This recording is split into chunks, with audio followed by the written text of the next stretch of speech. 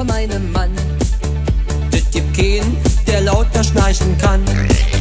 Deshalb schlafen wir nicht mehr zusammen. Nee, nee, mein Mann, der schläft jetzt nebenan. Ich erzähl ihn, hat von meinem Mann. Das gibt keinen, der lauter stöhnen kann. Hat er Schnupfen, ruft er nach der Mama. Nee, nee, mein Mann, der schläft jetzt nebenan. Na, da hört er.